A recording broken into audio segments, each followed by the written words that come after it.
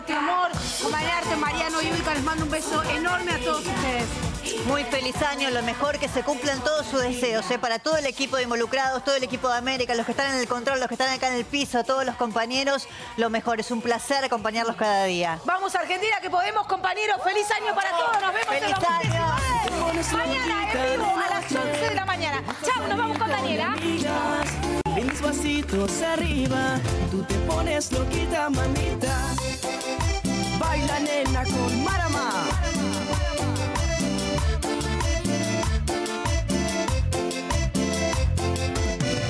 Estoy ansioso por estar solos tú y yo. Mientras te invito a una copa.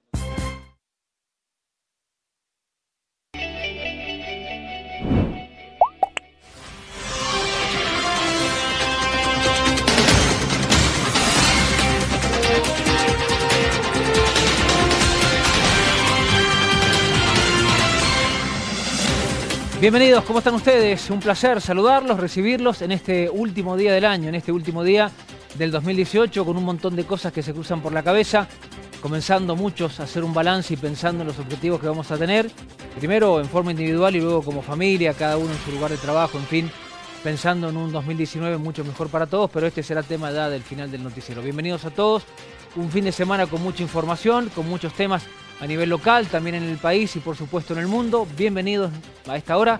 Les presentamos los temas importantes de esta media jornada. Arrancamos hablando de los servicios de manera especial. Durante este 31 de diciembre y vísperas de Año Nuevo, los servicios van a funcionar de forma específica y reducida.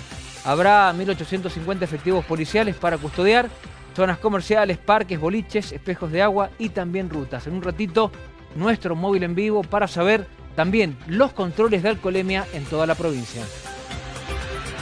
Un temblor para despedir el año. A las 7.49 de hoy se registró un movimiento sísmico de magnitud 5.4 que tuvo epicentro en San Juan. Se sintió fuerte en esta provincia. Fue en Calingasta, a 21 kilómetros al sureste de Barreal. Se sintió en toda la provincia. Además, te contamos también aquí en el mediodía los reclamos en Acceso Sur. Los padres de Alan Vilouta pidieron justicia y exigieron una pasarela que lleve su nombre como recuerdo. Junto a familiares y amigos se manifestaron donde ocurrió el crimen. Piden videos de apoyo. El joven murió atropellado en el acceso sur a la altura de la barraca la madrugada del 26 de agosto de 2017.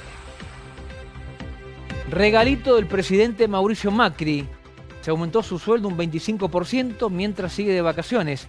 Durante el último día hábil del año, el mandatario firmó el viernes desde su lugar de descanso en Villa Langostura la suba de sueldo. Su gabinete eh, también van a recibir el incremento. En total, unos 300 ministros, secretarios y también otros funcionarios.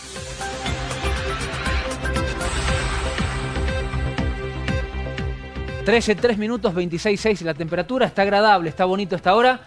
Y le damos la bienvenida al señor del deporte aquí en el mediodía, Gonzalo Titito Fernández. ¿Cómo le va? ¿Cómo anda? ¿Cómo le va, Suárez? ¿Cómo está? Muy buenas Muy bien, muy bien. para todos.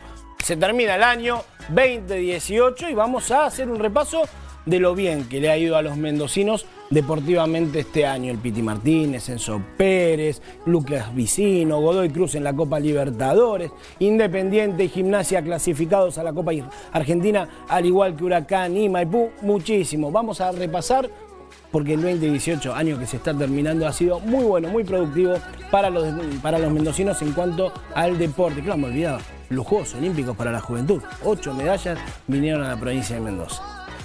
Gracias, Gonzalo. Arrancamos con uno de los temas de este lunes movidito, muy temprano, 7.49 de la mañana. Se movió el piso, algunos lo sintieron, otros no. Estamos hablando principalmente de edificios en altura. Eh, ¿Usted lo sintió, Titito? Eh, se me movió todo, se Todo. las ventanas, los espejos, la televisión, pero no sentí el temblor. ¿No se asustó? No, no, es que yo pensé que estaban pasando algún camión o un par de micros juntos por la puerta de casa que suele hacer que tiemblen las ventanas, pero no, sinceramente no. Bueno, fue en Calingasta, 21 kilómetros al sureste de Barrial. Estamos en comunicación telefónica con Miguel Castro, sismólogo de la provincia de Mendoza, para que nos dé detalles de esta situación que se viene planteando a nivel local, muy movidito en la provincia. ¿Cómo le va, Miguel? Sergio Suárez lo saluda aquí en el Mediodía del 7. ¿Cómo le va? ¿Qué dice? Un gusto estar con ustedes. Bueno, último día del año movidito en la provincia de Mendoza y en San Juan también. Sí, sí, en realidad ha sido un sismo importante. importante, eh, este, fue a las 7.50.08, Sí. con una magnitud, yo lo estimé, la calculé una magnitud de 5.6 en escala de Richter y una profundidad de 98 kilómetros. El epicentro se encuentra ubicado en una zona que es bastante problemática desde el punto de vista geológico, porque está, digamos, eh, en el río San Juan, que presenta una falla geológica este, muy importante y muy activa. Esa fue la falla que originó el, el, el terremoto de 1944 que destruyó la ciudad de San Juan. Eh, Miguel, viene temblando demasiado. A ver, me refiero, San Juan, eh, algunas provincias del norte de la República Argentina, por supuesto aquí en la provincia de Mendoza. ¿A qué se debe estos movimientos de los últimos 10 días? ¿Es totalmente normal? Sí, es normal y se produce en forma esporádica. Hay épocas, eh, lapsos, ¿no es cierto?, del año donde justamente eh, eh, hay una actividad sísmica, empezando, digamos, por el cinturón de fuego del Pacífico. Claro. Y bueno, y eso eh, trae aparejado, ¿no es cierto?, de que se incentive la actividad sísmica en esta zona. ¿Puede llegar a seguir eh, temblando, Miguel, tanto hoy y lo que queda de es esto? probable que eh, siga con al- alguna actividad sísmica, en algunos casos este, con algunas réplicas que se pueden producir o no. No necesariamente se tienen que producir. Eh, este que, fin de... Sí, le Este, contaba Bueno, que en este fin de caso semana... que ocurran algunas eh, Sí. réplicas, generalmente son de inferior magnitud que el sismo principal. Son muchos los mendocinos que han viajado a Chile para disfrutar eh, este fin de año y circuló por redes sociales este fin de semana una investigación liderada por un geólogo, Marcos Moreno Suit, de la Universidad de Concepción. Anuncia él un posible terremoto de 8 grados con tsunami para la zona de Valparaíso. A ver, no da fecha, vamos a llevar tranquilidad a todos. Pero Sí. se viene hablando mucho de esto en Chile, de esta Hace situación. bastante tiempo. ¿Qué sabe de esto? Sí, hace bastante tiempo, aproximadamente un año y medio atrás, este, eh, se, eh, se ha formado un enjambre sísmico en la zona central de Chile y la zona norte de Chile. En la zona norte de Chile, eh, algunos científicos norteamericanos habían habían este, pronosticado un mega terremoto de 9.5, 9.6 en escala de Richter, Sí, este, pero son todas estimaciones, claro. estimaciones que se pueden hacer, ¿no es cierto?, o que se llegan a hacer de acuerdo a algunas investigaciones que se hacen. ¿Está Pero preparado, no- eh, ¿Está preparado Chile y Cuyo para soportar esto o no? Y para un megaterremoto es, es relativo. Es Es relativo. relativo. dar una opinión de si realmente tanto la población como las estructuras están preparadas. Está bien, está bien. Esto, Estamos eh, hablando de 9.6 en escala de Richter, ¿no? claro, claro. Lo aclaramos esto a la gente, no es que estén diciendo que mañana puede temblar, pero No, no, no. se hizo público este informe de un geólogo, Marcos Moreno Suit, de la Universidad de Concepción de Chile. Sí. Él anuncia un terremoto de 8 grados o más, por eso le preguntamos a Miguel Castro. Eh, lo vuelvo a aclarar para evitar cualquier situación. Exactamente. Bueno, Titito se suma, sí. Estaba, estaba mirando una de las páginas de Twitter que hablan de sismos y anuncian un sismo de 7.5 a 240 kilómetros de las costas de Honduras y varias islas del Caribe. O sea que, evidentemente, es muy amplia la región donde está temblando. Exactamente, sí. Eh, no solamente en lo que es la franja de Chile, ¿no es cierto?, no- el, eh, la parte sur de, de Perú, sino que todo lo que hace, digamos, la costa del Pacífico, hasta llegar eh, justamente a la, a la placa Cocos, Sí. que es eh, prácticamente donde termina la placa de Nazca. La placa de Cocos está justamente en Centroamérica, especialmente en el sur de México y digamos este Guatemala, Nicaragua, todos esos países. Muy bien, muy bien. Esperemos que la descarga de la tierra venga por otro lado y no en Chile, en Mendoza. Exactamente. Por supuesto, para tranquilidad de todos los mendocinos que han viajado, para la gente. Esto no es una señal de alarma, es simplemente una investigación que trascendió en los medios este fin de semana, ha hecho mucha repercusión en Chile y por supuesto aquí en la provincia de Mendoza. y. Exactamente. Miguel, le agradecemos esta comunicación y No, buen favor. fin de año para usted. Eh, igualmente para ustedes, un muy fin de año y un 2019 mucho mejor. Muy bien, un próspero 2019 para usted y familia. Hasta luego, gracias. Gracias, Miguel Castro, sismólogo, hablando de este temblor. 7.49, 7.50 hoy de la mañana en la provincia de San Juan y se sintió en Mendoza. Cambiamos de tema para hablar de lo que sucedió en el Valle de Uco días atrás con estos dos monjes detenidos por abuso sexual.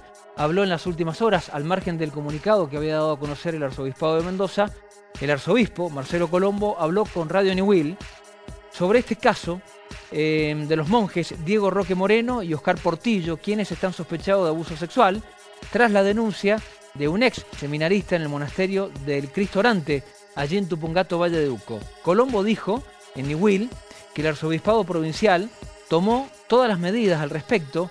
Fue el trámite del retiro de la información preliminar que nosotros llevamos a cabo y también toda la documentación inherente a la misma fraternidad, las constituciones, el origen de sus miembros, etc.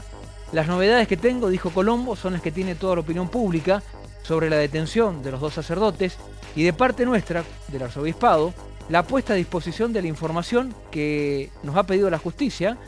Es todo lo que tenemos. Sabemos que han debido prestar declaración en dos instancias judiciales, dijo Colombo a Radio Niwil. Por último, estamos en una congregación, en una fraternidad monástica. Ellos tienen su propio asesor legal, distinto del obispado. Nosotros lo que hacemos es siempre trabajar en la línea de la prevención, siempre que podemos y nos da la posibilidad la persona de dialogar, sobre todo cuando viene un denunciante, añadió declaraciones del arzobispo de Mendoza, Marcelo Colombo, a Radio Newil, respecto a estos dos monjes acusados de abuso y detenidos en Tupungato. Y ayer todos nos poníamos muy tristes cuando nos enterábamos que Juan Osorio, Don Osorio, el famoso hincha de Independiente, a los 95 años nos decía adiós. Y de verdad que fuimos todos. Explotaron automáticamente las redes sociales para recordar a él, a Don Osorio, que eh, se hizo muy famoso y nos conmovió a todos en aquel partido entre Independiente y Argentinos Juniors, cuando el equipo de, en aquel momento, Alfredo Berti, le gana a Argentinos y se salva del descenso. Las lágrimas de él salieron en todos lados, incluso en la televisión de Buenos Aires. Recuerdo que vino a Buen Día Argentina, A Buen Día a Argentina. la mañana, y también hicimos el móvil en vivo, creo que con Silvia Santos, si la memoria no me falla, para el mediodía, con Gisela, usted y todo el equipo. Y hace muy poquito también, en el partido que Independiente le gana 3 a 1 a Gimnasia Grima de Jujuy en el Bautista Gargantini, en, eh, cuando hace el tercer gol Independiente, él también se emociona cuando liquida, cuando liquida el partido. ¿Por qué? Independiente ya no estaba peleando el descenso, se prendía en, los primeros puestos de la tabla, pero en este momento ya lo veíamos que tenía una sonda para poder respirar, ya no estaba bien de salud. Bueno, claro, tiene tenía 95 años todo el mundo, ¿eh? todos los clubes. Y cuando digo todos, me refiero a Gimnasia, me refiero a Godoy Cruz, me refiero a Huracán, a Maipú, a Gutiérrez. Los hinchas de absolutamente todos los equipos ayer lo despidieron en las redes sociales. No hubo una sola camiseta, la compartieron todos, porque los que son hinchas de un equipo quieren llegar a ser todos, ¿eh? como Don Osorio, porque esa es la realidad fanático, nunca quiso dejar de ir a ver al club de sus amores y así lo hizo. Se despidió, 95 años, y obviamente que todo el fútbol mendocino lo va a seguir recordando. Y ojalá que podamos ver muchos Don Osorio en las canchas de Mendoza, eh, alentando a los equipos de sus amores. Don Osorio, 95 años, buen viaje. Muy lindo, muy lindo. La verdad que lo recordamos de la mejor manera a él y su familia cuando pasaron aquí por el 7. Vamos a cambiar de tema para hablar de una triste noticia, una tragedia en Mar del Plata para una mamá y su pequeña hija. Estamos hablando de la familia Luzardi. Estaban tomando algo en un bar frente al edificio de Pon y Acevedo cuando la mamá y las dos hijas cruzaron a ver una vidriera. El relato de los minutos previos a este drama que terminó con la vida de estas dos mujeres. Fue solo un segundo, una decisión que nadie sabe por qué tomó, pero ese segundo en el que parada en el medio de la calle Acevedo se dio vuelta y volvió sobre sus pasos, esta mujer logró salvar a la hermana mayor de India Luzardi de tres añitos, de la que podría haber sido una muerte segura. Una salida familiar que terminó en tragedia para esta familia marplatense. Agustina Ferro tenía 35 años, estaba con su hija menor, India, la mayor, que tiene entre 8 y 10 años, y su marido, tomando un café en la vereda de Vicente, uno de los bares más tradicionales sobre calle Puan. Eh, está ahí desde 1982 y es uno de los lugares que frecuentan los turistas de Punta Mogotes, en Mar del Plata, y a los que iban habitualmente los Luzardi. Ella cruzó mientras esperaba la comida con su familia a ver una vidriera. Quería comprar un par de zapatos. Luego llegaría esta triste imagen que iba a terminar con la vida de ella, de la mujer y una de sus hijas. Sucedió este fin de semana. El padre se quedó sentado y la madre con las dos nenas empezaron a cruzar la calle Acevedo. Pero la mayor en medio de la calle se volvió hacia el bar y se quedó con su papá. Agustina y la pequeña India terminaron de cruzar y se acercaron a la vidriera. En ese momento los balcones se le cayeron encima. Hay una investigación judicial ahora para tomar eh, y escuchar distintas declaraciones de cómo estaba este edificio, principalmente la estructura. La justicia de Mar del Plata lleva adelante una importante investigación. El resto de una familia está reclamando hoy por hoy justicia.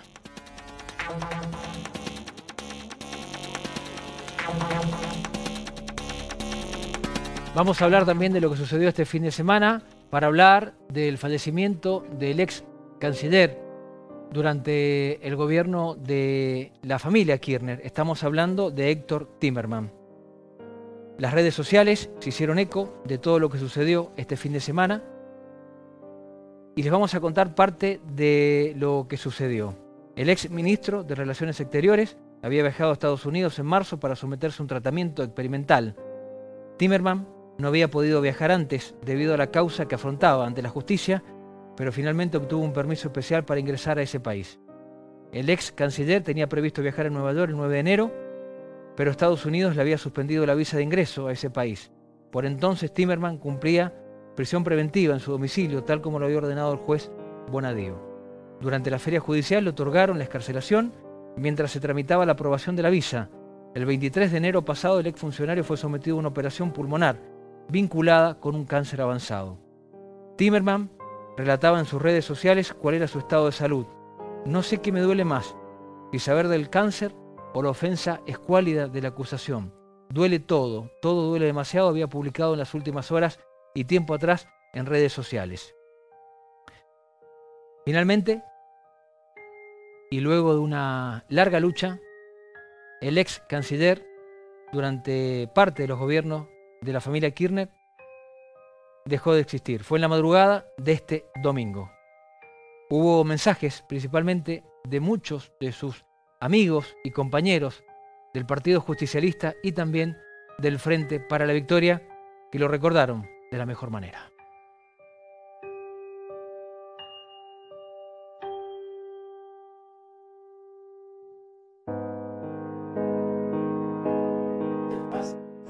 Santiago, el Morro García, el uruguayo, al Toluca de México se cayó definitivamente y empezaron los cruces.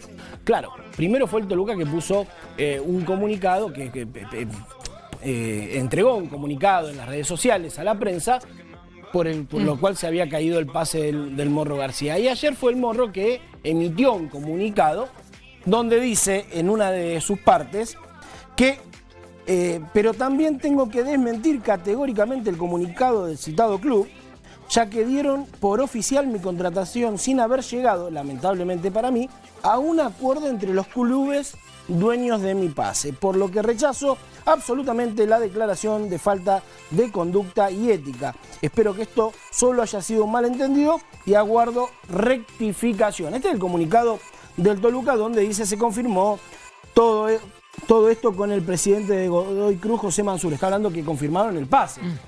Dice, Toluca manifiesta que por no cumplir con las normas éticas y de conducta que marcan las instituciones, el jugador no llegará a formar parte del club. ¿Quién tiene razón, el Morro, el presidente de Godoy Cruz o el Toluca?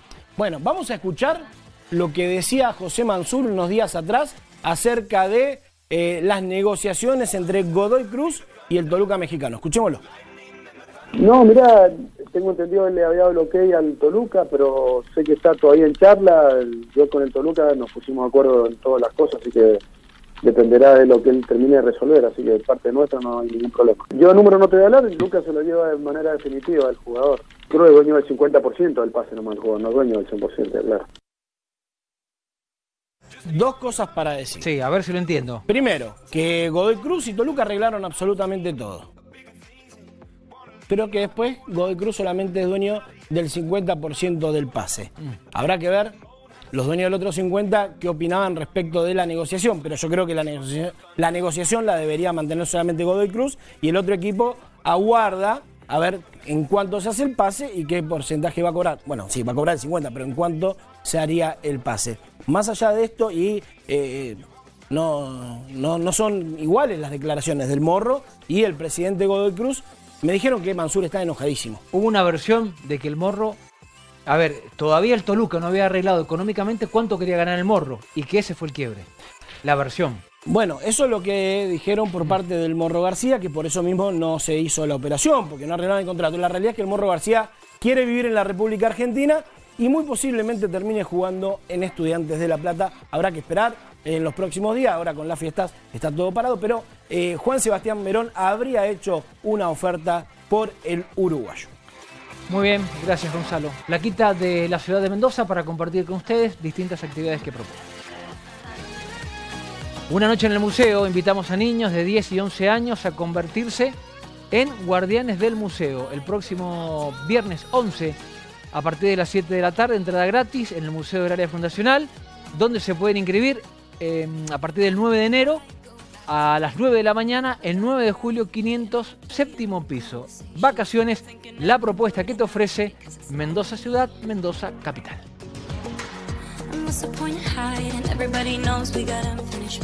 Primera pausa aquí en el Mediodía del 7, en este último noticiero, aquí en el Mediodía de este año 2018. Ya venimos.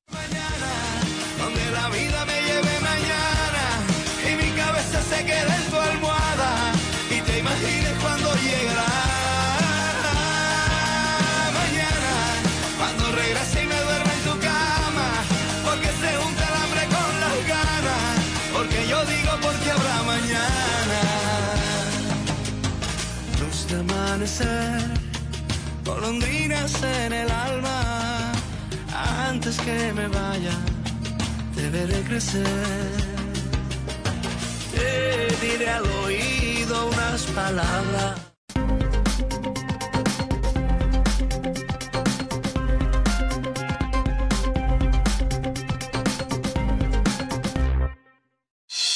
Óptica Latino presenta el nuevo cristal Full Blocking con tres tipos de filtros. Filtro ultravioleta, filtro antirreflejo y filtro para la luz azul de las pantallas. Totalmente sin cargo con la compra del armazón.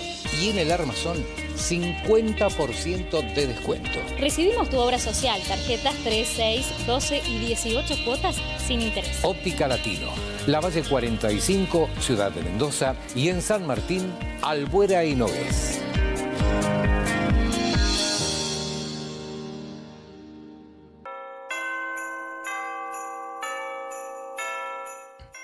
Brindemos en este nuevo año por energías renovadas y la mirada puesta en nuevos objetivos. Nuestros mejores deseos para ustedes. En este 2019 nos vemos en el cine.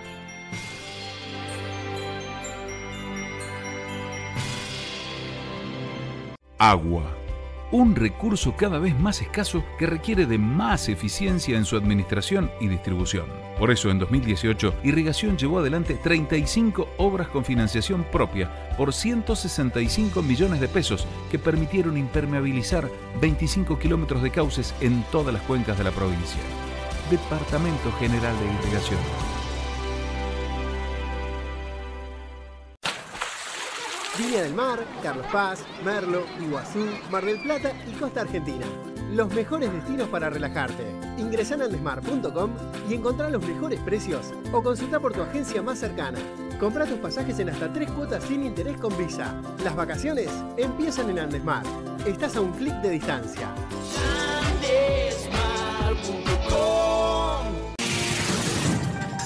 Las siestas y las tardes las ves desde la redacción. De lunes a viernes a las 14.30 y a las 18.45 nos vemos en el 7.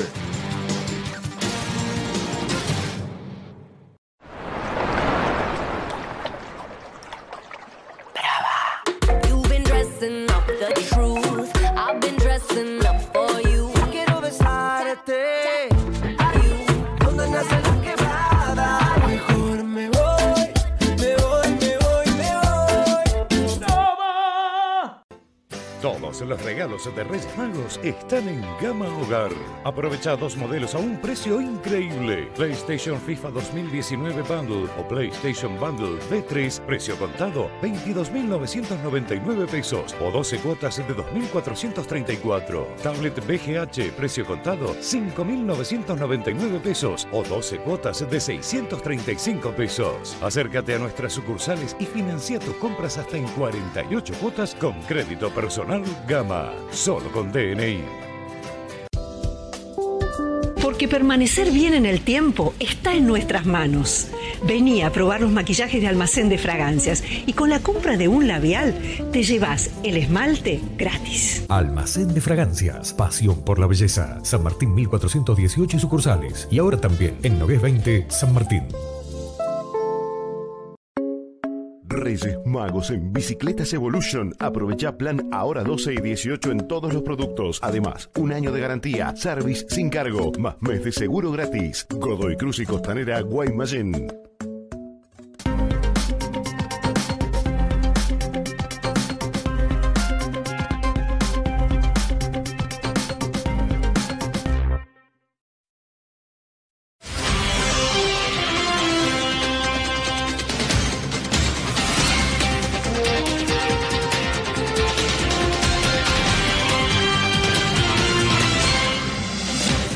Vamos a hablar ahora de los operativos por parte de la Policía de Mendoza, del Ministerio de Seguridad, del gobierno de Alfredo Cornejo, para pasar todos unas fiestas en paz. Ya llega con la información nuestro compañero Julián Chaver. Julián, Sergio Suárez te saluda aquí en el Mediodía del 7. Bienvenido, ¿cómo te va? Sergio, el gusto de saludarte a vos y a la gran familia del 7, último día del año, un año, un día muy especial, en un año práctica particularmente difícil en lo económico, muy bueno en, en lo familiar. Estábamos hablando recién con el general Ernesto Gómez, que lo saludo, jefe de la Policía Vial. Bueno, un año bueno dentro de todo para la Policía Vial, me decía jefe que han bajado en 32 los muertos en accidentes de tránsito. Obviamente que para el que pierde un familiar esos números no significan nada, pero bueno, 32 muertos menos en un año habla de un trabajo que se está haciendo con conciencia. Sí, buen día para usted, buen día para la audiencia. Un año de trabajo arduo para la, Policía Vial, eh, que ha dejado todo en las rutas mendocinas para poder llevar la tranquilidad a los ciudadanos de Mendoza. Recordemos que este año fallecieron dos efectivos de la Vial cumpliendo con su deber y bueno, al final del año se puede determinar un 17% menos de fallecidos con relación al igual periodo del año anterior. Lo estábamos viendo, 190 y pico en el 2017, 161 el, el 2018, 32 muertos menos. Bueno, fin de año, mucha gente va a salir, mucha gente va a ir a comer a un lado y después, habiendo tomado, habiendo comido, van a ir a fiestas, van a movilizarse y usted me va a decir qué tipo de control van a hacer y las multas que podemos tener si hemos tomado dos copitas de vino, una copa de cerveza y aunque no estemos borrachos nos va a dar positiva la alcoholemia para que sepamos qué tenemos que hacer. Permítame indicar que para este 31 y primero se van a repetir los esquemas operativos que se realizaron para Navidad. Es decir, un esquema que se realiza en horas de la noche, nosotros denominamos el control de alcoholemia, que se repliega la policía vial en los lugares de esparcimiento nocturno, zona de boliches, bares y demás, y el- en horario de día establecemos ese repliegue en las zonas turísticas, espejos de agua, zona de alta montaña y demás, para garantizar el normal regreso a casa de todos los mendocinos. 31 y primero. Como le decía, consumí alcohol en la cena, salí, me, me hacen alcoholemia, me da positivo. ¿De cuánto es la multa? La multa que estamos hablando es una falta de carácter gravísimo y alcanza casi los 10 mil pesos. Y si es con concurso, si no llego a tener el cinturón puesto o tengo, me falta una luz o no tengo alguno de los papeles. Claro, eso lleva el concurso de la multa y lo lleva hasta... Eh, cabe acotar que ahora con el nuevo sistema informático que se ha incorporado este año, si existen reincidencias, la multa puede ser elevada hasta en tres veces su valor. Lo hablamos antes de salir al aire. ¿Y ¿Por qué preguntamos el valor? Porque entendemos que en estos temas particularmente, miren que nosotros hacemos este trabajo y todo, y todo nos pasa que tomamos y después manejamos o para este tipo de fiestas no tomamos el, trabajo de tener el conductor designado. Bueno, entendemos que somos hijos del rigor y que 15 mil pesos a esta altura del mes para cualquiera de las familias mendocinas es mucha plata, así que la idea es que aunque sea desde el bolsillo tomemos esta conciencia porque además estamos hablando de la posibilidad de generar un perjuicio, de poder matar a alguien, digo, de arruinarte la vida de esa manera también. Sí, efectivamente. Permítame mm, colocar algunos números del operativo que hemos realizado este fin de semana, atendiendo que era un fin de semana largo. Hemos labrado la Policía Vial en todo el territorio de la provincia más de 2.000 multas y hemos detectado 86 alcoholemias positivas. Esto nos permite destacar la labor preventiva porque de una u otra forma hemos retirado eh, de las rutas provinciales 86 conductores y 86 vehículos que podrían haber ocasionado un accidente fatal. De estas 2.000 multas, la mayoría son ¿por qué? Tenemos eh, en conjunto de carácter gravísima 507, carácter grave 358 y de carácter leve 941. 86 alcoholemias estoy viendo. 86 alcoholemias positivas de que arrojaron de 500 controles de alcoholemia, porque Bien. para poder detectar esos 86 conductores, personal policial tuvo que controlar más de 500 vehículos para poder lograr esos números. Feliz año, felicitaciones por tu trabajo y bueno, ustedes saquen lo que necesiten, estamos para trabajar juntos. Bueno, gracias a ustedes, gracias por el apoyo permanente que recibe la Policía Vial y por poder permitirnos transmitir la, la tarea preventiva que realiza la Policía Vial.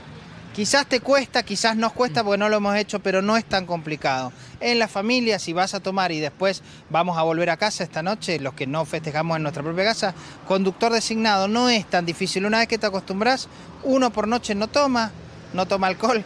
En, Año Nuevo parece como que es mucho, pero de- les repito, la posibilidad de generar un accidente o la posibilidad de tener una multa que va de, de- de los 10 mil pesos es mucha plata. A pensarlo, a tener las fiestas en paz y nos estamos viendo el año que viene. Suena lejos, pero es mañana. Gracias, Julián. Gracias eh, al comisario también Gómez. Y que A sea ustedes. este, gracias, muy amable, que sea un tema de familia. El conductor designado para evitar accidentes, para evitar tragedias, en una noche donde van a haber muchos vehículos circulando por nuestras calles y caminos, y aquel que tomó una copita de más puede terminar la situación realmente grave para él y para otra familia que muchas veces está en el medio de un accidente. Así que si vas a tomar, no manejes y tratemos entre todos de que sea una noche en paz para cada una de las familias de esta provincia. Vamos a continuar con los distintos operativos que lleva adelante el gobierno de la provincia de Mendoza, ya lo comentaba el director de la Policía Vial, Ernesto Gómez, con muchos operativos, principalmente control de alcoholemia en espejos de agua en distintos lugares turísticos de toda la provincia de Mendoza y por supuesto a partir ya de bien entrada la noche en distintos lugares, principalmente donde los chicos van a bailar eh, y lugares donde eh, hay mucho más movimiento de autos. Otro de los puntos fundamentales es el transporte que va a pasar con el servicio de colectivos, horarios eh, donde van a estar funcionando. Por ejemplo, hoy 31 de diciembre los servicios van a funcionar de manera especial, incluyendo comercios, estaciones de servicio y colectivos. Los colectivos y el metro tranvía, como las frecuencias, van a ser de un día sábado y hasta las 21.30. Las estaciones de servicio también van a trabajar con un horario especial hasta las 22 y mañana, primero de enero, arrancan a las 6 de la mañana. Los comercios de la provincia deberán cerrar a partir de las 2 de la tarde en 27 minutos más, según el Centro de Empleados de Comercio, en tanto que mañana martes, primero de enero, los shoppings solo van a funcionar los cines, los estacionamientos y patios de comida a partir de las 6 y media de la tarde. Bancos, hoy no hubo actividad. Según el gremio de la bancaria, reabren directamente todas las actividades financieras y bancarias el próximo miércoles 2 de enero. 19 fiestas habilitadas en toda la provincia. Habrá controles de alcoholemia, como lo comentaba el comisario, en toda la provincia. Controles en los diques. Por ejemplo, personal del Ministerio de Seguridad va a realizar controles de alcoholemia dentro y fuera del agua y se van a retener las embarcaciones cuyos navegantes se encuentren con un índice de alcohol en sangre mayor al permitido. Va a haber controles, por supuesto, en el Carrizal, la zona de Potrerillos, Agua del Toro, el Niwil y los Reyunos. A partir de esto, y con todo este operativo especial por un año nuevo seguro, Noticiero 7 hizo un informe especial allí en eh, distintos espejos de agua de la provincia de Mendoza. Notas de Sofía Fernández, material editado por nuestra compañera Sofía Berrón. Cómo evitar problemas en los distintos espejos de agua hoy y también pensando principalmente en el primero de enero. Música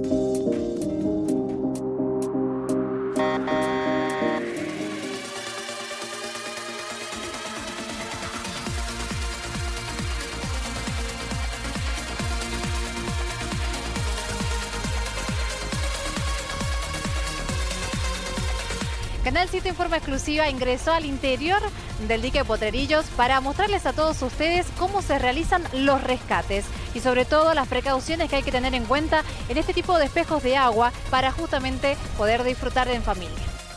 Esto es eh, trabajar el día a día. Eh, tenemos ahora con la apertura del túnel, ha ingresado muchísima más gente de la que ingresó el año pasado. Hacemos mucha prevención. Eh, el dique no es apto para nadar, entonces a toda la familia mendocina que nos visite pedimos sobre todo precaución, cuidado con los niños y bueno, acá estamos para ayudar. El dique Potrerillos ha sido escenario de accidentes acuáticos y de hechos fatales que sentaron un precedente en la historia policial de Mendoza. Es importante saber que existe un equipo especializado que trabaja cada fin de semana en el interior de ese espejo de agua, no solo para rescatar personas, sino también para colaborar en eventuales procedimientos policiales. Esta embarcación eh, es bastante completa ya que tiene una sonda óptica nos permite medir eh, todo lo que es la distancia hacia el, agua. Nos permitió también estar en el rescate de la mujer que encontramos chilena que murió acá en el dique, la tiraron. Eh, nosotros estuvimos involucrados en ese rescate. Eh, bueno, tiene todo lo que son salvavidas circulares, torpedos, que eso nos ayuda para todas las personas que nosotros tenemos que hacer rescates a poder subirla a la embarcación y llevarla hacia la costa. Todo el equipo de náutica estamos permanentemente con radio, manejándonos para que no tengamos víctimas. Esta, en esta tercera temporada que yo estoy acá en el dique no, no hemos tenido ninguna víctima. Ok, bien tomado, bien tomado.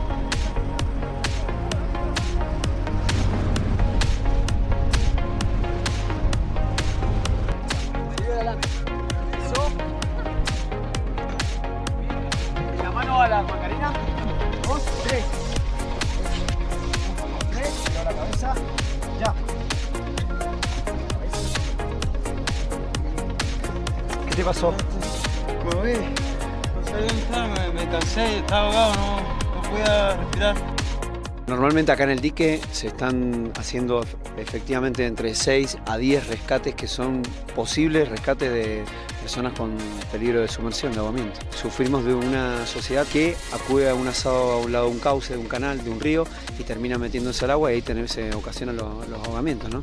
Hoy día la prevención está en poder tener a los chicos a un brazo de distancia, como eh, yo les estaba contando, a un brazo de distancia, que no, no perder la visión de ellos, no estar distraídos. Nuestro trabajo eh, fundamentalmente se basa en la, en la prevención, prevención 100% prevención.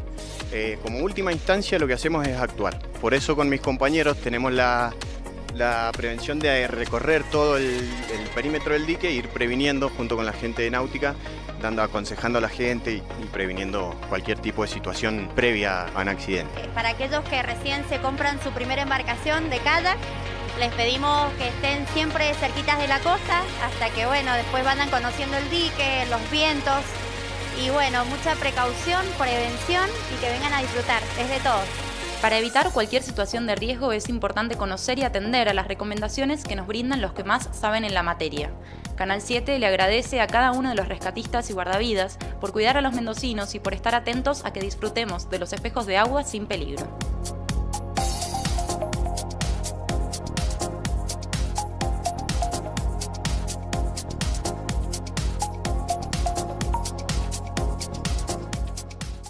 Al inicio del noticiero les contaba que el año 2018 fue un año muy bueno en materia deportiva para los mendocinos.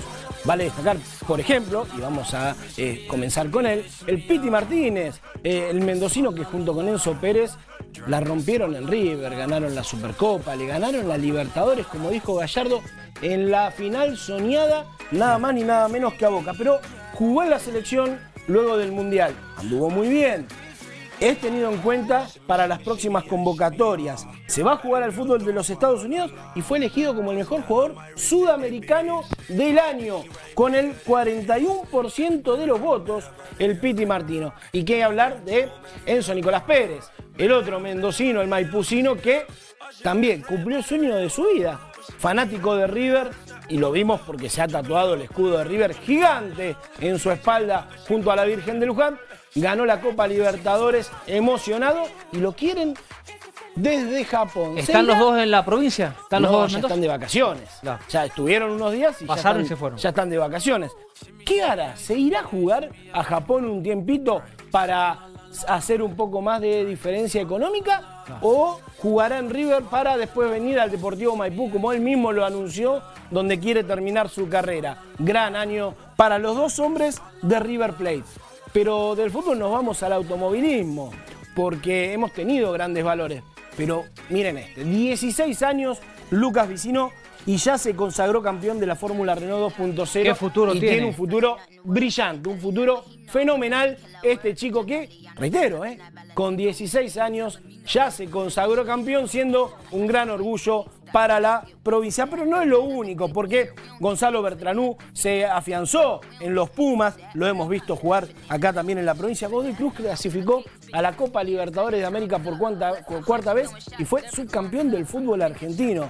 No, no es este, poca cosa. Vinieron ocho medallas desde los Juegos de la Juventud, los Juegos Olímpicos para la Juventud. Gianela Palet, Julián Hernández, Juan González, Facundo Firmapaz, Tomás Herrera, Agustín Cabaña, Nicolás Diegues, Bautista Mieva. Realmente eh, un año maravilloso para este, los deportistas mendocinos. No me quiero olvidar de Independiente que no pelea el descenso, se salvó el descenso, está en zona de clasificación de, reducido, al igual que Gimnasia, que ascendió a la B Nacional. Ambos están en la Copa Argentina. Maipú y Huracán también en zona en la segunda fase del Feralá y también clasificados a la, a la Copa Argentina. Un año 2018 que seguramente los deportistas mendocinos no se lo van a olvidar. Ojalá que el año próximo sea igual o mejor que este año para todos los deportistas. Cambiamos de tema para hablar del sueldo del presidente de la República Argentina, Mauricio Macri, con un importante aumento en este fin de año para él y sus colaboradores más cercanos. Durante 2019, Macri va a cobrar por mes 268.056 pesos en bruto, luego de un año de sueldos congelados. Como gesto de austeridad, en un difícil 2018, el presidente firmó desde sus vacaciones en el sur una resolución para aumentar un 25% los salarios de los miembros del Gabinete Nacional antes de marzo. El texto firmado electrónicamente desde un country, Cumalem, que fue adelantado por distintos portales de noticias, incluye al propio jefe de Estado como ministros, secretarios y subsecretarios, alcanza unos 300 funcionarios del Estado. A partir de mañana, al recibir el año nuevo, van a cobrar un 20% más, al que se va a sumar otro 25% en febrero. El presidente de la Argentina pasa a cobrar 268 mil pesos con 56 por mes.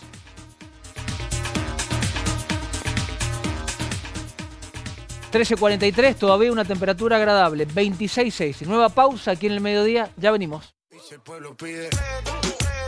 No se lo va a negar. Si la mujer pide, pues yo le voy a dar. Y si el pueblo pide, no se lo va a negar.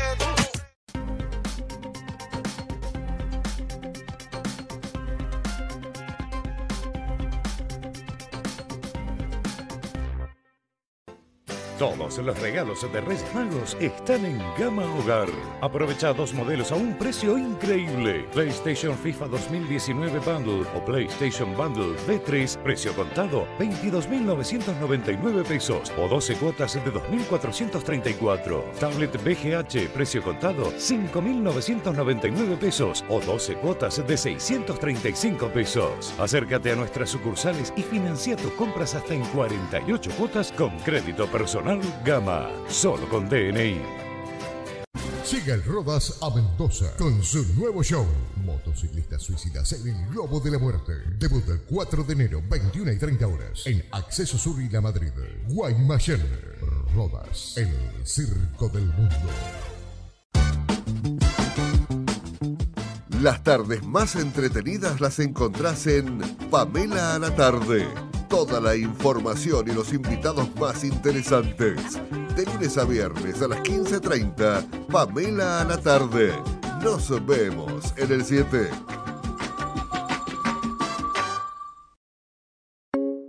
Reyes Magos en Bicicletas Evolution. Aprovecha plan ahora 12 y 18 en todos los productos. Además, un año de garantía, service sin cargo, más mes de seguro gratis. Godoy Cruz y Costanera Guaymallén.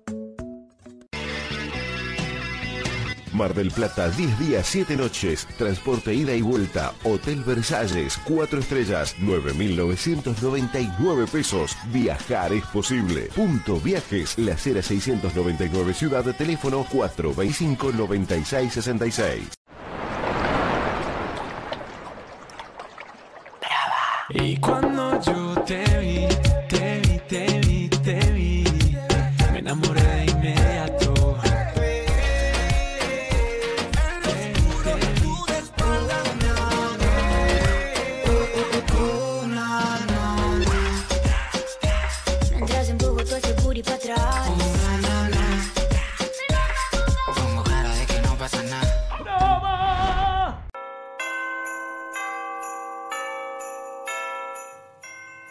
Brindamos por vos, por vos y tu familia. Brindamos por un año colmado de buenas noticias. En este 2019 Nos vemos en el 7.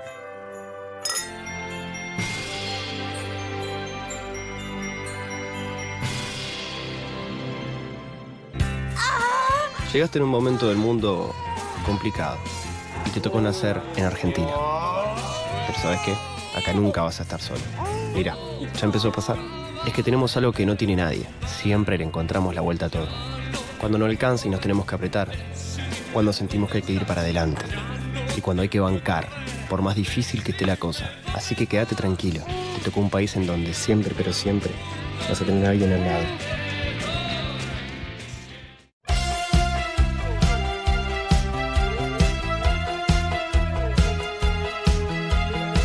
De lunes a viernes, al término de Incorrectas, Para vos.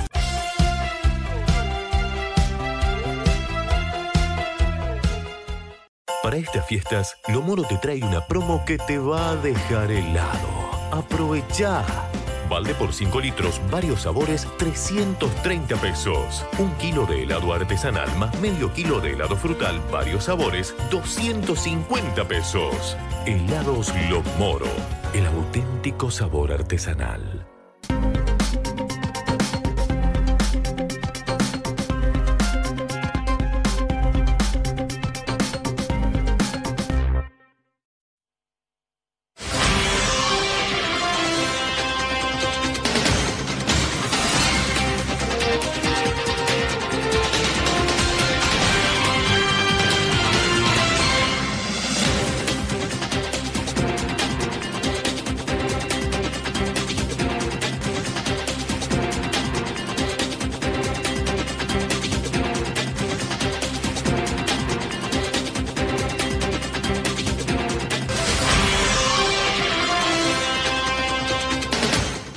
Con eh, un balance, si podemos hacerlo, pensando eh, en todo lo que se viene, todo lo que pasó y todo lo que se viene para este 2019, con la voz autorizada de Carlos Hernández. ¿Cómo le va? ¿Qué tal? ¿Cómo está Sergio? ¿Cómo anda?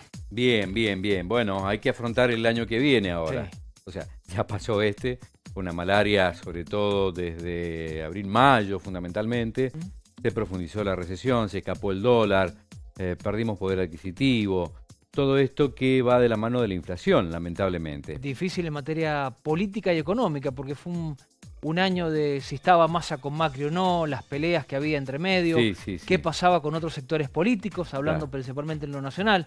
Mucho más tranquilo aquí en la provincia de Mendoza. Recién Claro. ahora acá comienza de marcha a abrirse, algunas Claro. fotos que comienzan a, a marcar un poquito el terreno político pensando en el 2019. Eh, tal cual, pero Mendoza es mucho más ordenada en todo sentido, ¿no? En la gestión estatal, en las cuentas públicas, en la política, lo institucional, todo diría dentro de los carriles institucionales, incluso hasta dando la posibilidad de reformas estructurales, por ejemplo, en la justicia, con algunos proyectos que pasaron por la legislatura, que tuvo el acompañamiento de la oposición, las iniciativas del gobernador Alfredo Cornejo. Pero Mendoza no es una isla, entonces cuando hay una problemática macro, acuciante y que se traduce en inflación, también se siente, por supuesto, en la provincia de Mendoza. Hemos tenido meses hasta con mayor inflación, por lo menos en la forma en que se mide en la provincia, que la nación. Mejoró ya hacia el final, pero con inflación todavía. Eh, la producción de Mendoza, que está buscando algunas posibilidades de abrirse paso, eh, con un poquitito más de competitividad, con un dólar alto, porque esto mejora el perfil exportador, principalmente con una mejora en materia turística. Hay una tierra de oportunidades aquí en Mendoza. Hoy es el segundo destino más elegido del país por los visitantes extranjeros. ¿La bandera de esta provincia será eh, el vino? Eh, me refiero a ver, puede ser el vino, puede ser el petróleo. Claro. Eh, ¿qué, qué otro tipo de industria o actividades para, para hacer más grande esta provincia? Eh, como emergentes son las tecnológicas, se le está dando un impulso muy fuerte y el ámbito de las energías limpias, que han tenido, han tenido un incentivo aquí en la provincia de Mendoza. Eso es lo nuevo y que hay que seguir trabajando, porque también hay muchas oportunidades. En el mundo tecnológico, por las universidades, ese polo que se ha conformado ya hace tiempo, y que tiene su traducción, por ejemplo, en un espacio concreto, que es el Parque Tecnológico que está en Godoy Cruz, pero donde participan eh, el Estado, los privados, eh, las universidades, y esto es bueno. Pero no es lo único, no alcanza. El perfil petrolero que ha ido mejorando también, a mejorar las condiciones de explotación petrolera y se va a sentir cada vez más en la provincia de Mendoza. Eso está bueno. Lo otro que ha quedado así como entre paréntesis es la minería.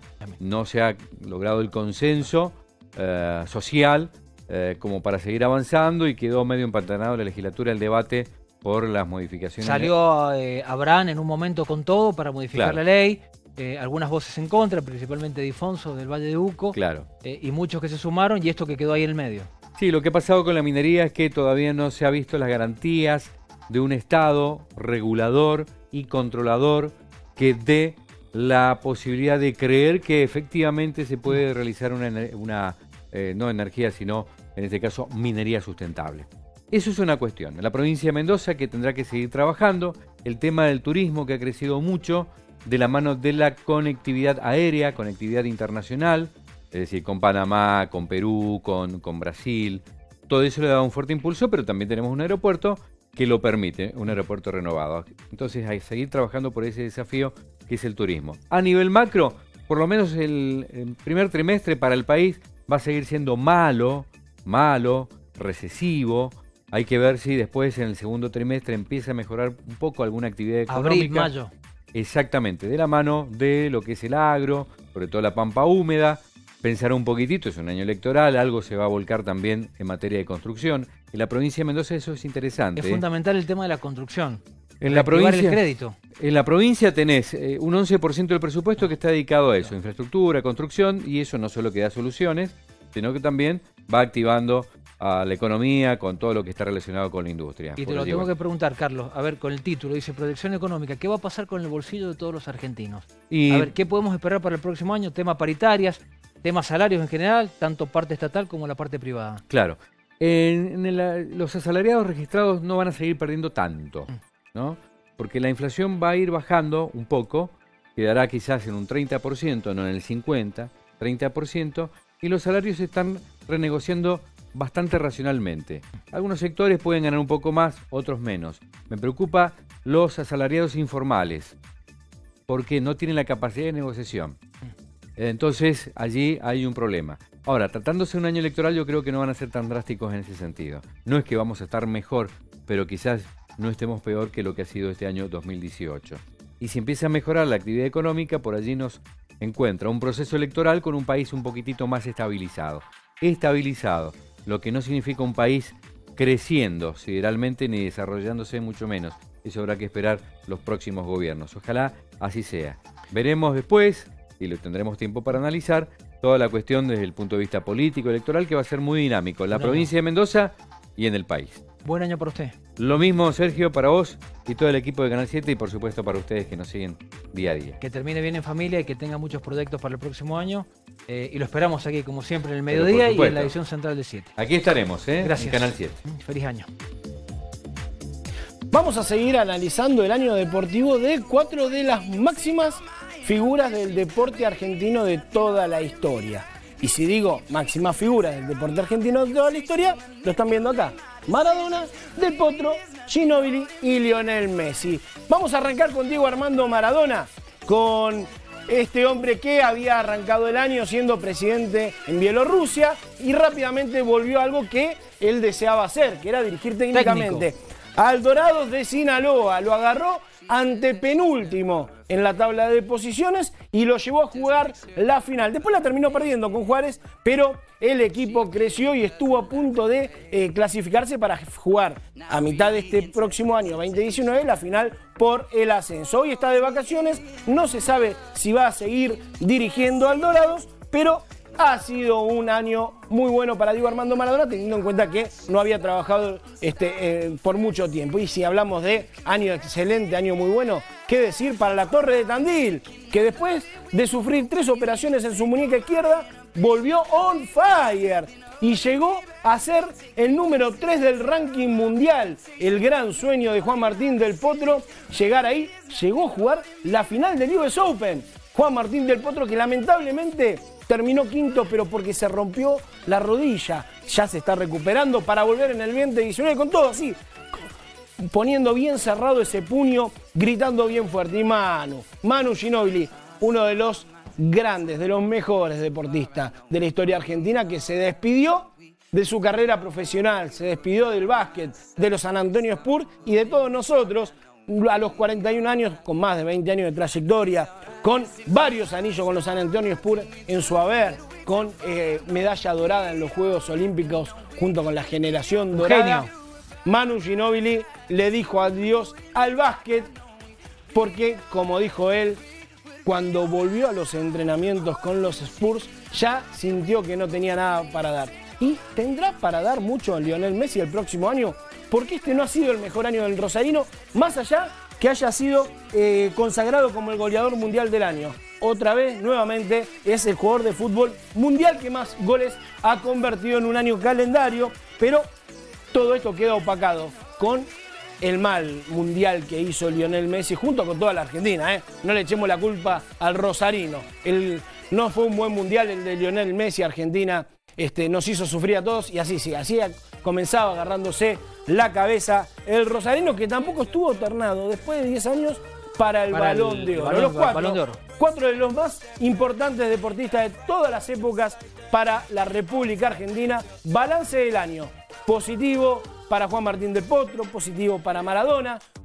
El Manu, Manu Ginobili que nos dijo adiós y Lionel Messi que espera que el 2019 en lo deportivo sea mucho mejor que este último, que por suerte para él, hoy ya está terminando. Gracias Gonzalo. Vamos a entablar una comunicación con Miguel Pelaitay. Ha estado trabajando mucho todo el fin de semana, principalmente el sábado, hablando con la gente, con los miles de mendocinos que decidían cruzar al otro lado de la cordillera a Chile. Miguel Pelaitay estuvo trabajando el día sábado allí, tomando testimonios de las gentes que iban, por qué motivos, con una espera de dos a tres horas el fin de semana, el sábado. Mejoró para el domingo, en un ratito vamos a escuchar los testimonios y le vamos a preguntar a Miguel Pelaitay cómo ha estado la situación hoy. Miguel, Sergio Suárez te saluda aquí en el Mediodía del 7. Bienvenido, ¿cómo te va? Sergio, muy buen mediodía. Bueno, te digo que tenemos un calor tremendo en la alta montaña mendocina. La temperatura en el Valle de Ufayata es eh, realmente muy intensa, así que ya vamos a ir. Villa Las Cuevas, atención, 9 grados, una temperatura para lo que es Villa Las Cuevas bastante agradable. En Puente del Inca, 11 grados en Punta de Vacas 17 grados, en el Valle de Uspallata con 24 eh, grados a esta hora y una sensación térmica de 30 grados es eh, lo que se está sintiendo en estos momentos en la alta montaña mendocina. ¿Demoras? Demoras no superan los 30 minutos en Libertador en Diego Orcones. Hay muy poco movimiento en la ruta 7 a esta hora del mediodía. Atención, eh, muy tenemos eh, personas ubicadas, atención, hasta la hora cero de este día, 21.880 personas habrían pasado hacia Chile, mientras que habrían ingresado a la República Argentina 4.436 cumple más o menos las expectativas que tenían los chilenos de los argentinos que iban a visitar, porque ellos hablaban de unas 20.000 personas iban a visitar en este fin de semana largo eh, Chile. De todas maneras nos queda hoy todavía para sumar, van por siete días algunos, otros por menos días, y bueno, eh, en definitiva van a Chile. Preguntábamos a algunos de ellos si iban a comprar y, y vamos a ver. Eso es, eh, Sergio, lo que tenemos hasta el momento desde aquí y bueno, como decíamos, hemos estado trabajando durante todo el fin de semana. Eh, lógicamente hubo un mo- momento en que se cerró aquí eh, a la altura de Uspallata y nosotros podíamos lograr notas, no solo en Uspallata, sino también en Libertadores con respecto a aquellos que transitaban la ruta. Bueno, le deseo un buen año para usted, un próspero 2019 y como siempre seguiremos ligados al 7 con toda la información desde el Valle de Uspallata. Lo despedimos, Miguel, y nos vamos a quedar con eh, el testimonio de tus notas de la gente que viajaba el fin de semana hacia Chile. Un abrazo, Miguel. Un abrazo y feliz año para todo el equipo del 7 y gracias, gracias por permitirnos ser parte de esta gran familia. Aquí en la estación de servicio, concretamente del Valle de Uspallata. ¿Van para Chile? Vamos para Chile. Están esperando una larga cola. Ya lo creo, no tenía ni idea, pero me acabo de enterar que sí, como cuatro horas, ¿puede ser? Bueno, estaban anunciando dos horas y medias. Ah, bueno, mejor entonces, buena noticia esa. Con todas las cabinas habilitadas, bueno, hay que transitar con precaución. ¿Llevan todas las medidas de seguridad? Todas, todas, creo que todas. El chaleco, el seguro. Exactamente. Bueno, muchas gracias y feliz viaje, ¿eh? Muchas ¿De gracias. compras o, o simplemente paseo? Paseo y de compras también. ¿Y qué les conviene comprar en Chile? No sé, vamos a ver ahora. ¿Van para Chile? Ah, sí, para Viña. Para Viña. Eh, ¿Saben que hay demoras? Me acabo de enterar que no sé qué ha pasado, pero está bastante lento, así que nos vamos a tener que hacer paciencia. Hemos comprado protector solar para pasar el día en la ruta. ¿Todas las, preca- las medidas de seguridad las llevan, eh, especialmente el líquido?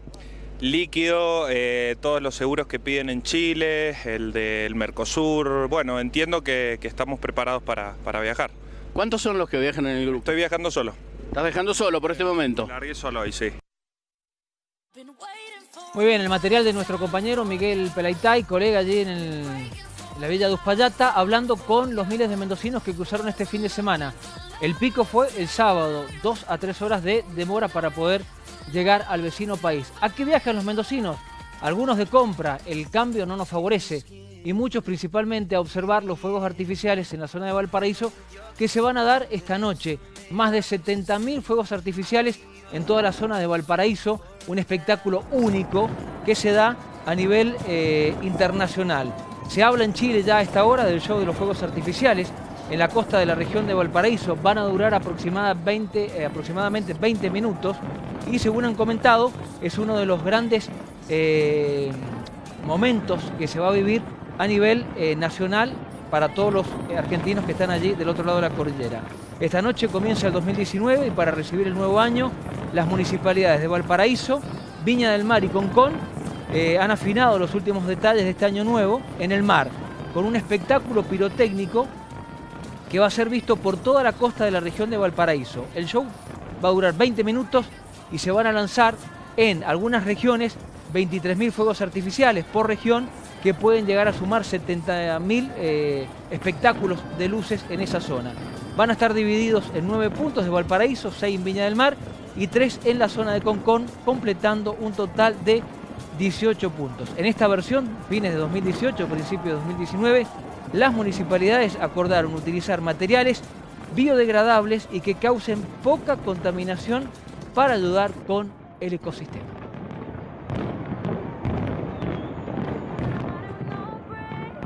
Bueno, hay miles de mendocinos para disfrutar esta noche de este lindo espectáculo. Nueva pausa aquí en el mediodía, ya venimos con la última parte del noticiero. En un ratito Pablo Gamba también con su informe.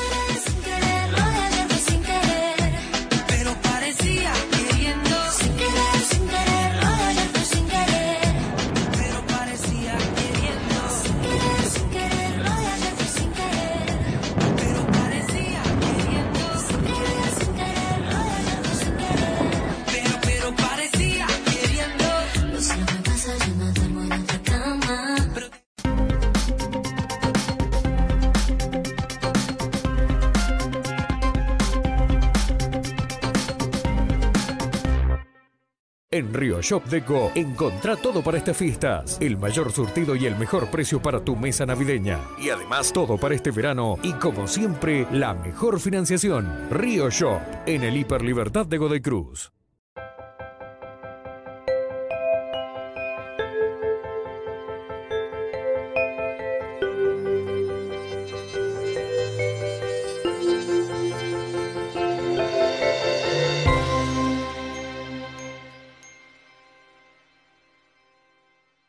No te quedes sin ir al mar. Aramendi Asociados. Mar del Plata, Villa Gesell, Camboriú, con servicio a bordo. Media pensión con los mejores hoteles y restaurantes. Aramendi Asociados. Simplemente cumplimos.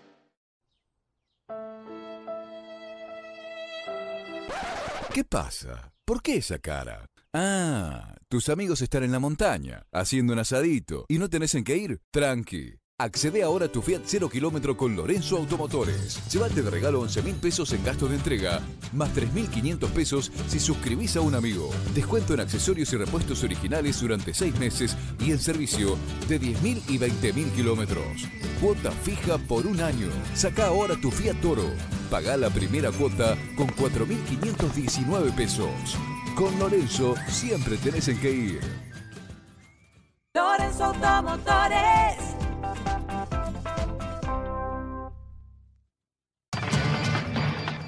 Termina la jornada informado en El Central. La cobertura más completa de los hechos del día con móviles en vivo y la opinión de especialistas.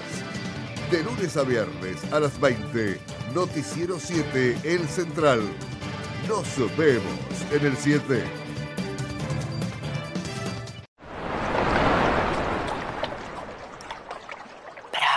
Es que me gustas tú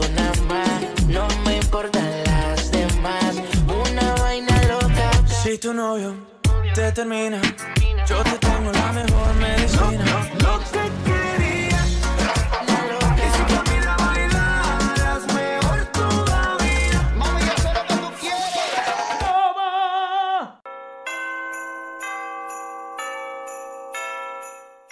Brindemos por estar, por la compañía diaria entre ustedes y nosotros. Te deseamos un año lleno de buenos momentos y miradas de amor. En este 2019 Nos vemos en el 7.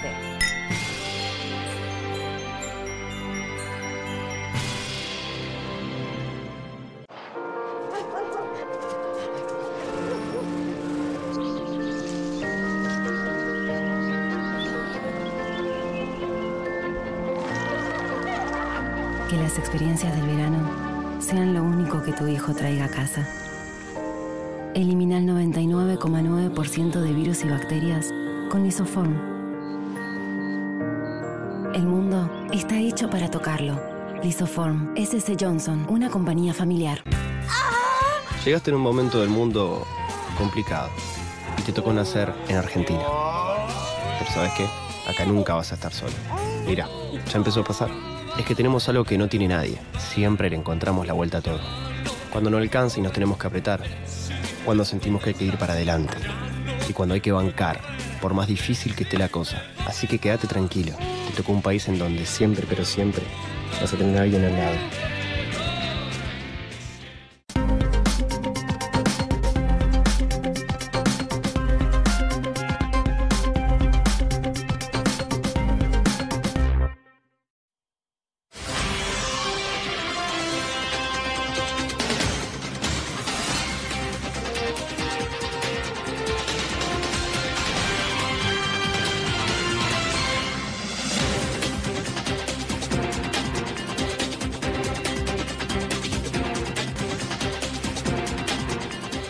Temas que les presentábamos apenas comenzaba esta edición en nuestros títulos es un pedido de justicia de la familia de Alan Vilouta. Con este tema estuvo trabajándolo esta mañana nuestro compañero Pablo Gamba, eh, tanto para Noticiero 7 como para Radio New Will. ¿Cómo le va? Bienvenido. Sergio, buen mediodía, buen mediodía a todos los televidentes. Exactamente, Un tema trabajando- duro, crudo, eh, por todo lo que significa. Un pedido de justicia tras la pérdida de una vida. Eh, mucho hemos hablado del reclamo permanente de la familia de Alan Vilouta con un tema que eh, lo manejamos durante mucho tiempo, con muchas cosas en el medio también. Hay muchas cosas en el medio. Recordemos que Alan Vilouta perdió su vida el 26 de agosto, concretamente del 2017. Desde ese entonces, la familia pide una construcción de una pasarela que cruce desde la barraca hasta un centro, desde la barraca digo hasta un hipermercado, ¿sí? En esa zona, eh, dicen los comerciantes que deben cruzar el acceso sí o sí, que no pueden dirigirse, por ejemplo, hacia el puente de calle Alcina, porque es peligroso, porque sufren hechos eh, delictivos allí en esa zona. Entonces directamente tienen que cruzar por el acceso. Recordemos que Acceso Sur tiene tres trochas de cada lado, por lo tanto, una persona que quiere cruzar tiene que cruzar seis trochas. Es totalmente peligroso. Pensemos, ¿sí? Pablo, mira, la gente que trabaja, los que no tienen auto, muchos de los jóvenes que trabajan como lo hacían a- Alan en la parte de cocina, gastronomía de los distintos restaurantes y lugares que hay. Tenés que salir 12, 12 y media, 1 de la mañana. ¿Cómo haces cuando tenés que tomar el colectivo frente al- a la barraca? Y un dato más, y que no es menor, desde el principal ingreso al municipio de Luján de Cuyo, estamos hablando de calle Ascuénaga, desde allí, en dirección hacia el norte, hacia el rulo del Cóndor, hay solamente una pasarela. ¿Sabe dónde? Frente al barrio La Gloria. Es la única que se ha construido hasta el momento, es por ello que familiares de Alan Vilouta se reunieron hoy donde perdió la vida Alan justamente para pedir con urgencia la construcción de esta pasarela. Hace tiempo ya que venimos desde hace, desde que pasó el accidente, reclamando por, por una pasarela, por una situación de que realmente que si esa pasarela hubiera estado, hubiéramos evitado muchas cosas. Podríamos seguir evitando lo que, lo que vemos, los siniestros que van a venir, o sea, porque la gente sigue cruzando por este lugar. Es necesario, vos me entendés Pablo, es necesario que cruce por este lugar, porque hay gente que vive acá, hay muchísimos chicos que trabajan de este lado y muchísimos chicos que trabajan de aquel lado. ¿Usted ha podido hablar con compañeros de Alan? ¿Qué le dicen? ¿No van hacia el puente de calle Alcina, digamos? Eh, ¿Cruzan directamente por el acceso?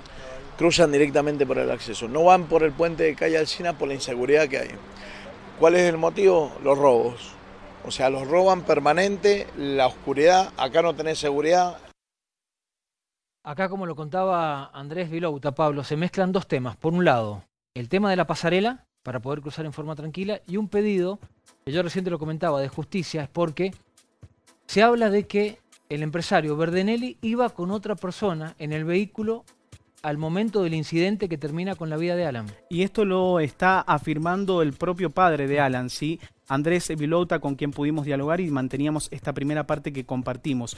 También asegura que esa persona que iba acompañando al empresario Alejandro Verdenelli, justamente esa persona es la que estaba con él cenando horas antes en el centro. Se trataría de la misma persona. que están exigiendo desde la familia? Que se presente voluntariamente esta persona que supuestamente acompañaba a Verdenelli en el momento del impacto. Vamos a compartir parte de la segunda entrevista. Empezamos a indagar cómo era posible que mi hijo con la cabeza había volado al espejo de la Porsche Cayenne. No.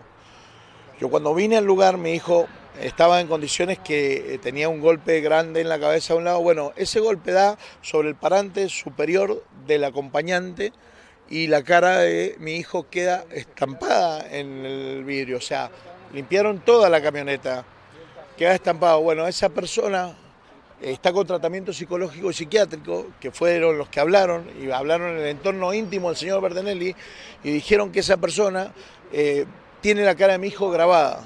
¿Qué están pidiendo los familiares respecto también a este acompañante que habría llevado Verdenelli?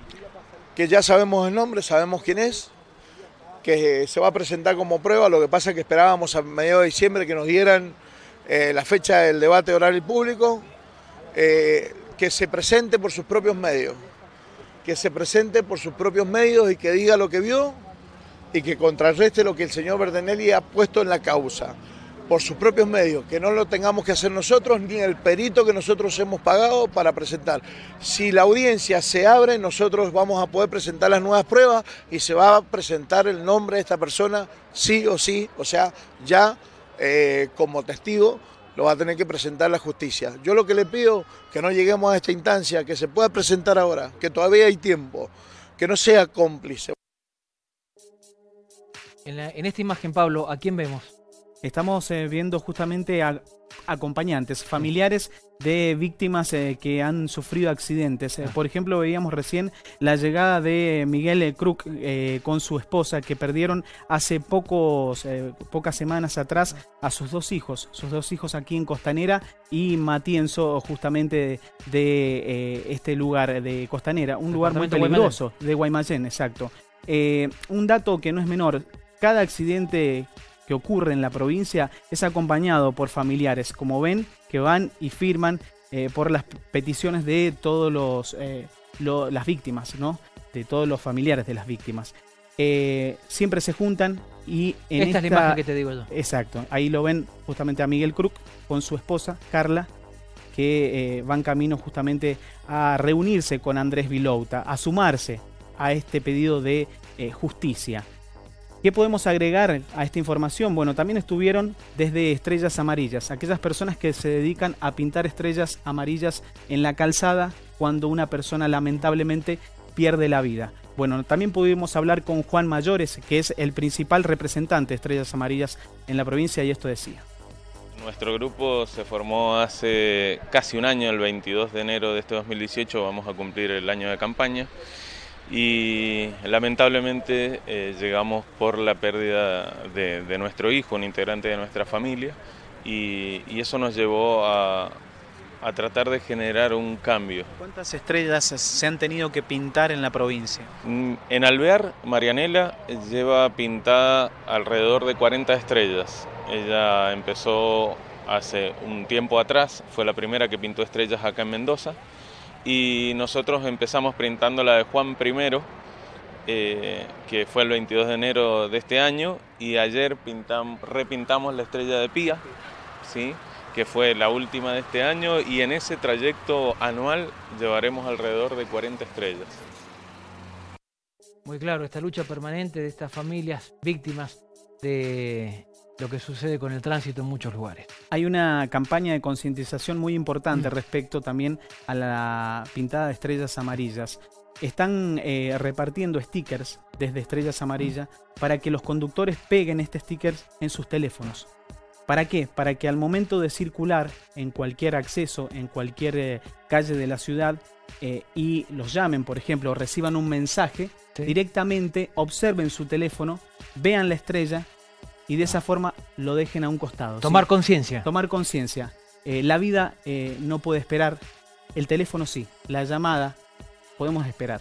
Entonces, a esto quieren apuntar, concientizar a la sociedad. Para ir terminando este informe, Pablo, ¿cuál es la situación del empresario Verdenelli hoy para la justicia? Bueno, Alejandro Verdenelli se encuentra imputado con prisión domiciliaria y hay que aclarar que está a la espera del juicio, sí, pero está con prisión domiciliaria en este momento Alejandro Verdenelli. ¿Qué dice eh, el papá de Alan, Andrés, con respecto a, a esta, a, este, a esta otra persona que iba en el interior del auto? ¿Ya la tiene identificada con nombre y apellido? Ya la tiene identificada, sí, eh, no lo dan a conocer por tema de investigación, pero ellos ya la tienen ident- identificada esta persona y piden ¿sí? con urgencia que se presente voluntariamente para explicar también qué fue lo que sucedió, qué fue lo que vio acompañando supuestamente a Verdenelli. Esta es la situación judicial hoy del empresario Verdenelli, acusado de ser quien iba en el vehículo que terminó con la vida de Alan Vilota.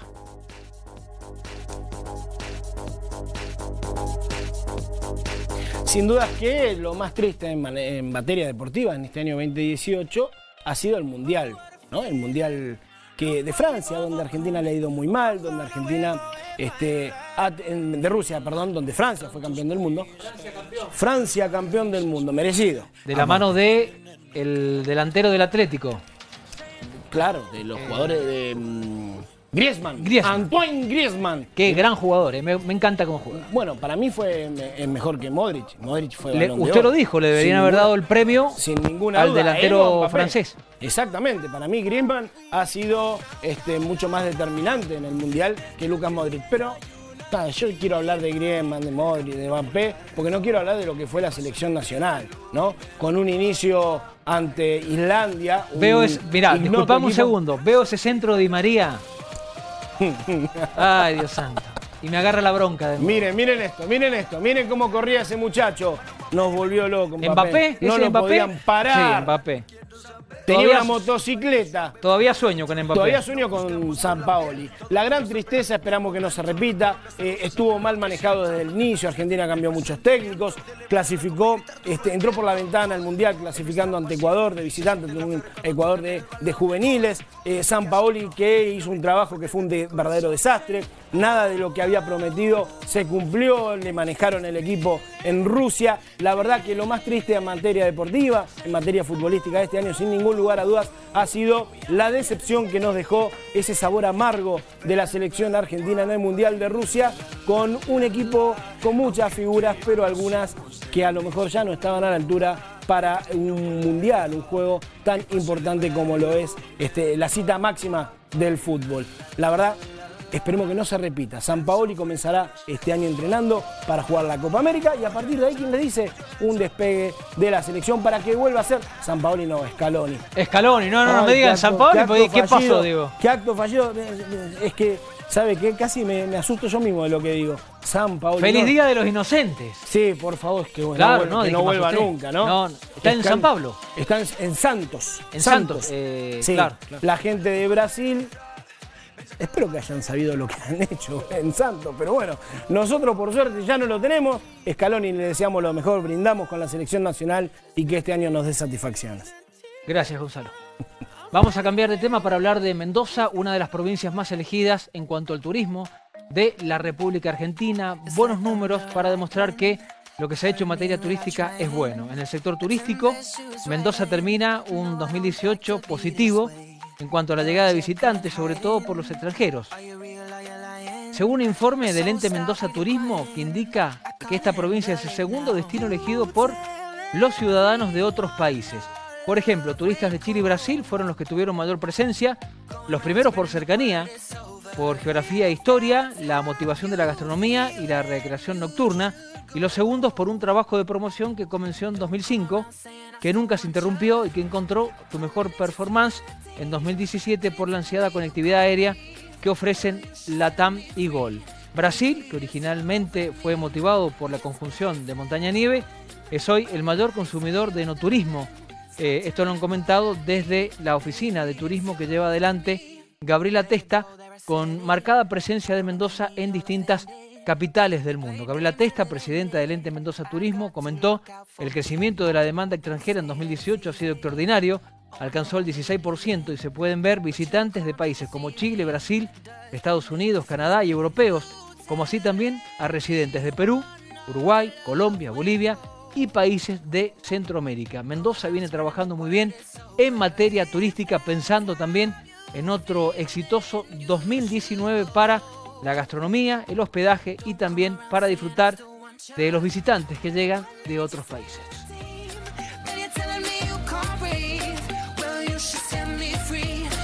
Bueno, y es casi un hecho que en enero tendremos fútbol por los puntos y en Mendoza será entre Huracán Las Heras y el Deportivo Maipú. Y es casi un hecho que será en el Malvinas Argentinas. La Liga Mendocina de Fútbol, a través de su presidente Carlos Uraz, envió un pedido a la empresa Torneos, organizadora del encuentro, para organizar esos partidos por la Copa Argentina, por la segunda fase eh, regional de clasificación, donde se tienen que enfrentar estos dos equipos y ninguno de los dos puede afrontar los gastos del operativo policial en la provincia para jugarlo en el Malvinas con ambos públicos. No hay fecha todavía. 20, el domingo 20 es el partido de ida, domingo 27 el partido de vuelta. 20-27. Y es casi un hecho. ¿Qué falta para confirmarlo definitivamente?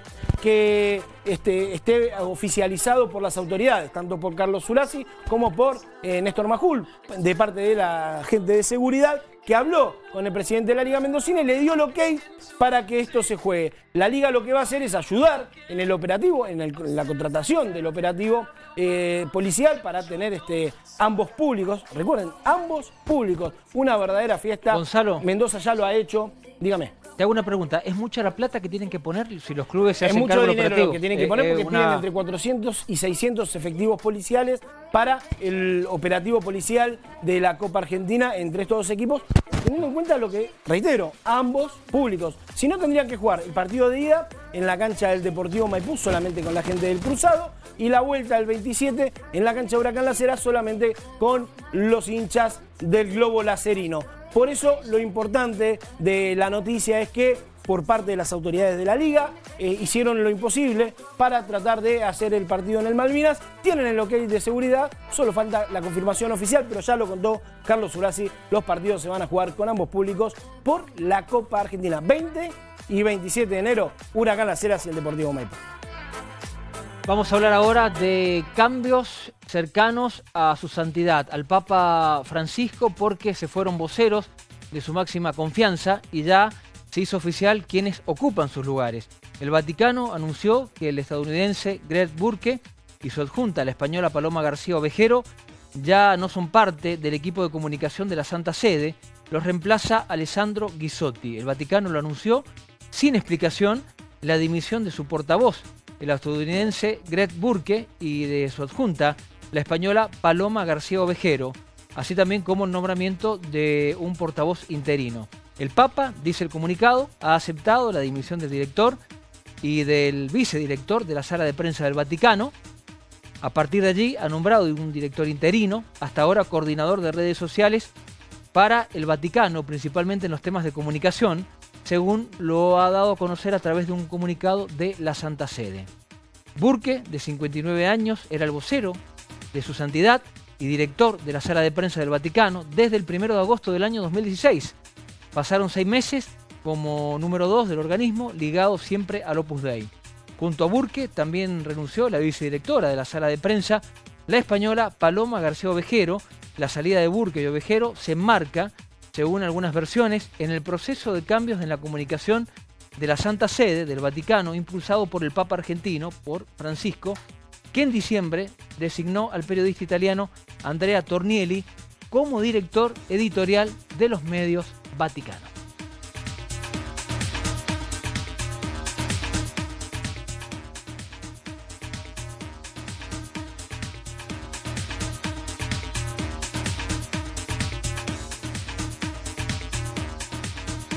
A ver, el año nuevo en otras partes del mundo, porque aquí tenemos las 14.26, pero en otros lugares, ya con estas fiestas, con estos fuegos artificiales, Indonesia, Hong Kong, Japón, Australia, algunos de los países que ya le dieron la bienvenida a este primero de enero del año 2019, con una serie de fuegos artificiales, espectáculos para gran parte de la población.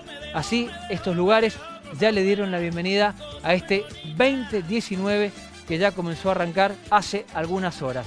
Aquí falta todavía, recién en el primer minuto de la medianoche vamos a comenzar a hablar ya de este primero de enero 2019 con un importante operativo de seguridad del gobierno de la provincia para evitar accidentes y evitar situaciones tristes y trágicas en los distintos espejos de agua de la provincia de Mendoza. Nos vamos ya con la quiniela matutina para compartir con ustedes los primeros 10 lugares, a ver si tuvo suerte con la quiniela de Mendoza. La lombriz a la cabeza.